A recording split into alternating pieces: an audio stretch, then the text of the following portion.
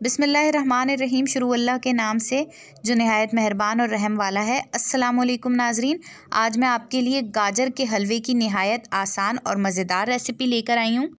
सबसे पहले गाजरें ले ली हैं मैंने। अब इसको मैं चॉपर में चॉप करूँगी इन गाजरों को ताकि मेरा टाइम बच सके।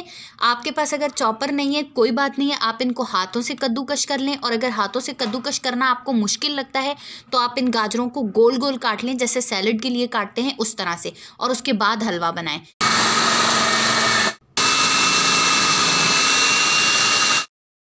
सारी गाजरें चॉप करने के बाद इनको मैं दूसरे बर्तन में शिफ्ट कर रही हूँ। रहीम चूल्हा मैंने ऑन कर दिया है और पतीले में ये गाजरें डाल रही हूँ।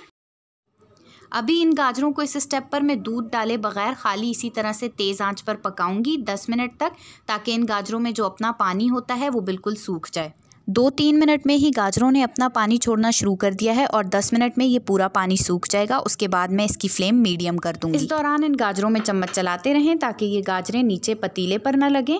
दस मिनट पकाने के बाद इन गाजरों का रंग चेंज हो गया है, इसलिए मैंने फ्लेम मीडियम पर कर दिया है और दस मिनट तक अब मैं इसे मीडियम फ्लेम पर पकाऊँगी। अब इन गाजरों का पानी बिल्कुल सूख चुका है, इसलिए अब हम आगे बढ़ते हैं। दो कप अब मैं इसमें दूध के ऐड कर रही हूँ। इसके बाद इसमें एक चौथाई चम्मच इलायची पाउडर डालूँगी और साथ ही इसमें फेंटी हुई मलाई शामिल कर रही हूँ। इस हलवे में मैंने खोए का इस्तेमाल नहीं किया है, क्योंकि खोया महँगा भी पड़ता है और ज़्यादातर लोगों के पास होता भी नहीं है। मलाई तकरीबन हर घर में मौजूद होती है, इसलिए मैं कोशिश करती हूँ कि अपने खानों में वही चीज़ इस्तेमाल करूँ जो ज़्यादातर लोग इस्तेमाल कर सकें। अगर आपके पास मलाई भी नहीं है तो कोई बात नहीं, सिर्फ़ दो कप दूध में भी ये हलवा बहुत अच्छा बनेगा। दूध और मलाई शामिल करने के बाद इस हलवे को मैं ढक रही हूँ और ढककर 20 मिनट तक मीडियम फ्लेम पर पकने के लिए छोड़ रही हूँ। बीस मिनट हो गए हैं हलवे को पकते हुए ढक्कन मैंने उठा दिया है और हलवे का दूध भी पूरा सूख चुका है। अब चलते हैं इसको भूनने की क्योंकि इसमें अभी मैंने चीनी नहीं डाली है तो मेरी दादी को शुगर है उनके लिए मैं इसमें निकाल लूँगी चीनी के बगैर।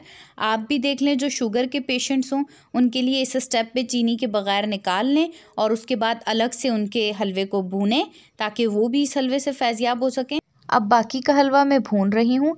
इसके लिए मैंने तीन ये बड़े वाले चम्मच ऑयल के डाले हैं।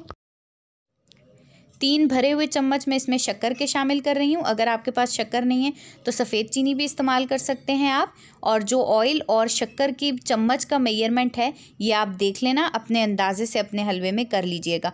और चीनी आखिर में चेक करिएगा। अगर आपको चीनी की और ज़रूरत लगे तो इसमें तो और शामिल कर दें। अब इसको दस मिनट तेज़ आँच पर मैं इसी तरह से भूनूँगी। जब ये हलवा भुन जाए और पतीले की साइड्स छोड़ने लगे तो इसमें एक चम्मच गंदम का आटा शामिल कर दें। गंदम के आटे से इसमें चिकनाहट आएगी और हलवे की शक्ल भी खूबसूरत होगी। तीन से चार मिनट सिर्फ़ भूनना है ताकि ये जो गंदम का आटा है, ये भी इसमें भुन जाए। इसके बाद मैं इसमें अखरोट शामिल कर रही हूँ, बादाम डाल रही हूँ, थोड़े से पिस्ते डाल रही हूँ और थोड़े से ही तिल ऐड कर रही हूँ। बस तिल इतने काफ़ी हैं। इसको मिक्स कर लें। इसमें ड्राई फ्रूट्स भी ऑप्शनल हैं, अगर नहीं है तो ना ऐड करें। हलवा भुन गया है, फ्लेम मैंने ऑफ़ कर दिया अब मैं डिश आउट करके दिखाती हूँ। ये शुगर फ्री हलवा भी मैंने साथ ही भून दिया है। मैं आपको मीठे वाला हलवा डिश आउट करके दिखा रही हूँ। अब ये हलवा सर्व करने के लिए बिल्कुल रेडी है। अगर आपको ये रेसिपी हलवे की पसंद आए तो इसे लाइक और शेयर करना मत भूलें। मोमजी रेसिपीज़ को सब्सक्राइब करें। अगली वीडियो में मिलती हूँ, तब तक के लिए अल्लाह हाफिज़।